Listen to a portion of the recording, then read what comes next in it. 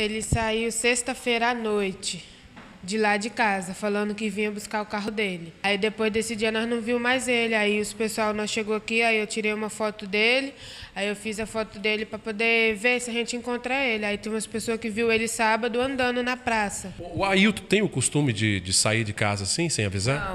Não, não tinha costume não. É que ele tá com os problemas, né? Aí ele não tá tomando remédio e tá assim.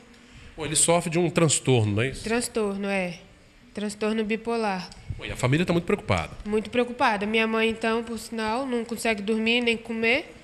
De acordo com Patrícia, irmã de Ailton Cardoso dos Santos, a família mora na região da Fazenda Três Marias, interior de Linhares. Qualquer informação que leve ao paradeiro do rapaz pode ser comunicada através dos telefones 999 18 49 11 e 99501 1242.